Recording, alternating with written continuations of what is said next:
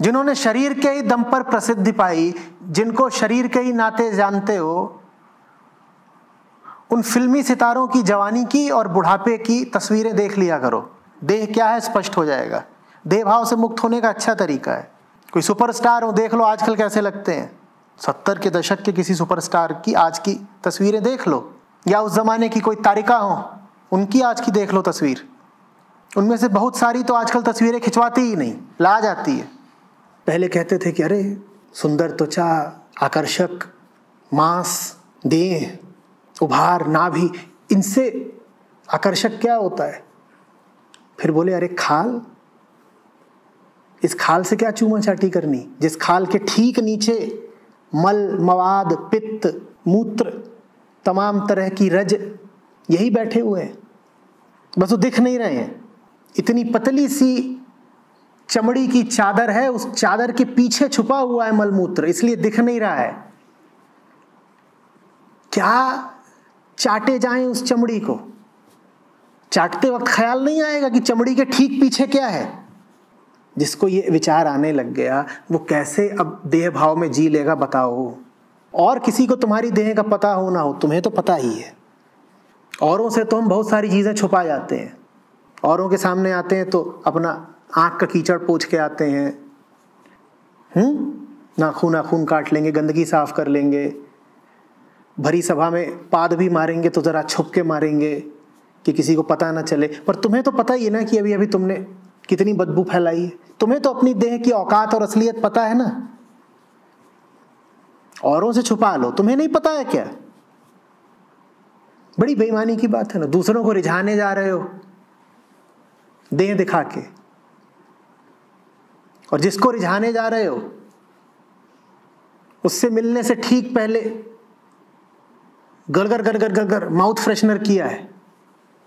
तुम जानते हो ना कि तुम्हारे मुँह से कितनी बदबू उठती है? सभी के मुँह से उठती है। और फिर भी तुम मुँह में नकली खुशबू बसा रहे हो।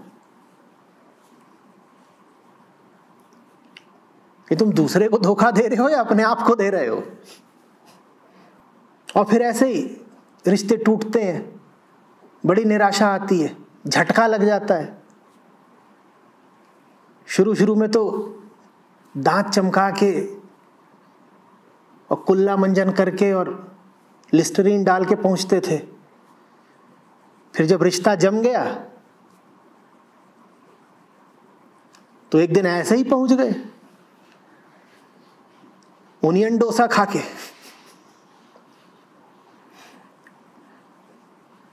और बोले, प्रियतमा चुंबन। ये प्रियतमा अगर उस क्षण के बाद भी देह भाव में जिए तो ये नरक की अधिकारी है। इसका पूरा हक है कि इसको नरक ही मिले। जिसे जगना होगा, जिसे चेतना होगा, वो उस क्षण में जग जाएगी, कहेगी, ये है असलियत। सिद्धार्थ राजकुमार के साथ हुआ था ऐसा। उनके पिता को कुछ ऋषियों ने आगाह करा था कि आपका बेटा सन्यासी निकल सकता है। कुछ देखे होंगे उसके लक्षण। तो पिता ने बड़ा बंदोबस्त किया। उसको कभी दुख महसूस ना होने दें। उसके लिए भोग विलास के सब साधन इकट्ठे कर दिए। और राज्य की जो सुंदर सुंदर लड़कियाँ थीं, उनको बुलाते और कहते ये मेरे बेटे के साथ रहो, दोस्ती करो राग रंग हो, नाच गाना हो। कहानी है, जानता नहीं। कहानी है कि एक रात ऐसे ही देर तक चला नाच गाना। मदिरा इत्यादि भी रही होगी। तो जितनी लड़कियाँ आई थी, उनकी शायद सिद्धार्थ ने भी पी होगी। सब अपना बेहोश पड़े हैं। बहुत देर रात करीब करीब भोर, अचानक सिद्धार्थ की नींद खुली, होश आया। और वो सब रूपसी सुंदरियाँ, अव्वल नंबर की, उनको बुलाया गया था। अब वो सब बेहोश, ढुलकी पड़ी थी। और मैं कल्पना कर रहा हूँ कि सिद्धार्थ ने बिल्कुल फटी फटी आँखों से देखा होगा उनको कि कहाँ गया इनका रूप? किसी का पूरा काजल और जो कुछ भी मुँह पे मल रखा है, चौक, खड़िया, वो सब धुला हुआ है। किसी के मुँह से लार बह रही है। किसी के सुंदर कपड़े वगैरह अस्त व्यस्त हो गए हैं तो वो और बदसूरत लग रही है, उत्तेजक लगने की जगह। कोई मुँह फाड़े पड़ी हुई है बेहोशी में। कोई खर्राटे मार रही है। किसी ने इतनी पी ली है कि उसने उल्टी उल्टी कर दी हो अपनी ही उल्टी में लथपथ पड़ी है।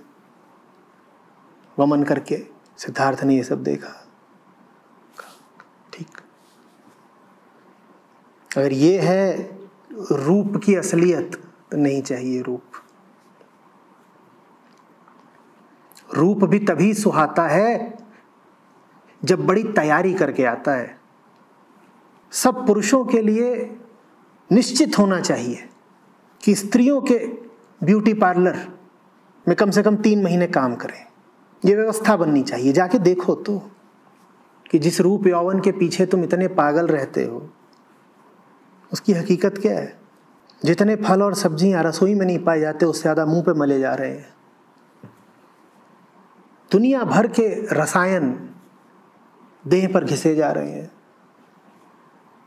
भौहें नोची जा रही हैं, बाल नोचे जा रहे हैं, बाल रंगे जा रहे हैं, मुँह मरगड़ा जा रहा है। और चीख पुकार भी मची हुई है, हाय हाय हाय हाय।